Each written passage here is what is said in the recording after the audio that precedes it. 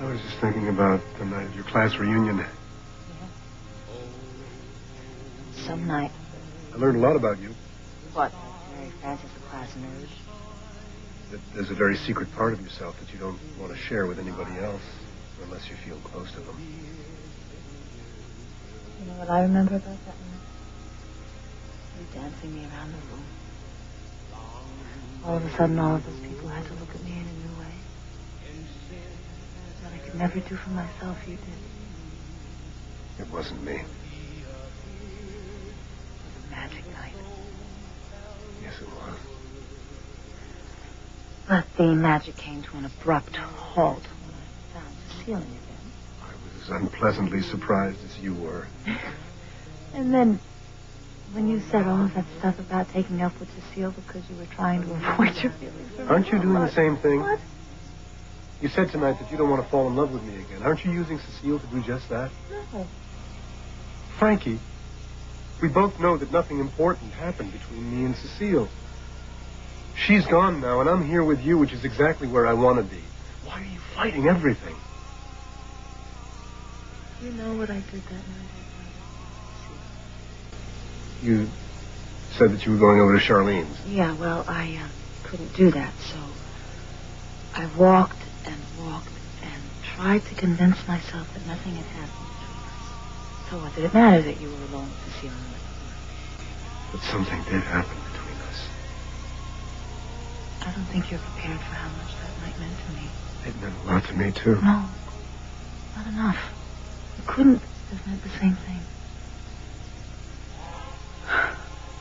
Talking to you like that, holding you, it, was Intimate. Yeah. I don't think I've ever felt that way before. I don't think I've ever felt that someone knew me that well. And then when I left you with Cecile, Yes, I would rather say goodbye to you and find out that you went from that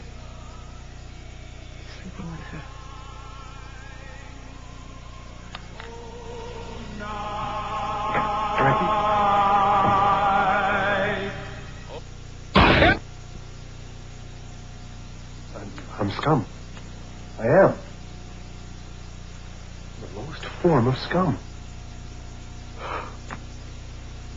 Frankie?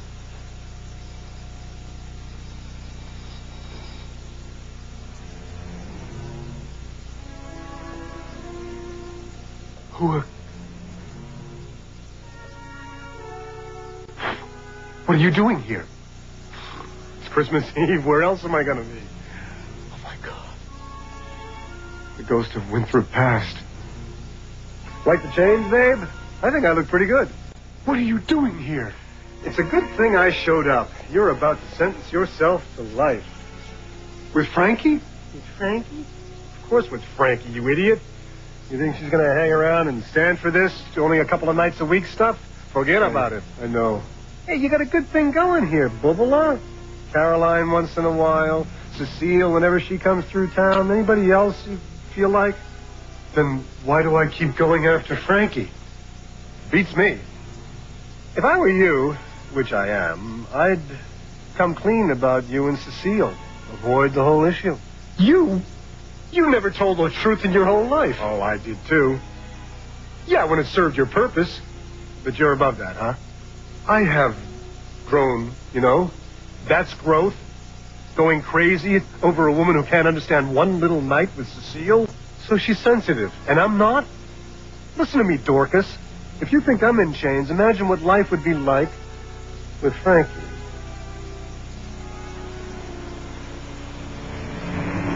Who are you?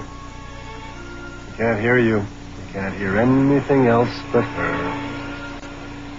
What, Frankie? Sure, dear. I'll pick up the kids after school. Kids? They can go with me to pick up that mulch for the garden. Mulch for the garden? You think she'll settle for anything less than that? You got her all wrong. Yeah, sure I do. Even if you don't. What's so great about living over your office alone? What's so great about having a different woman every night? Oh, you're in big trouble, Winthrop. I think you should tell her about you and Cecile and get out while you still can. What if I don't want out? What do I do? I? Hey, now there's a stupid idea. What do I do? Who are you talking to? I wasn't talking. I, I was waiting for you.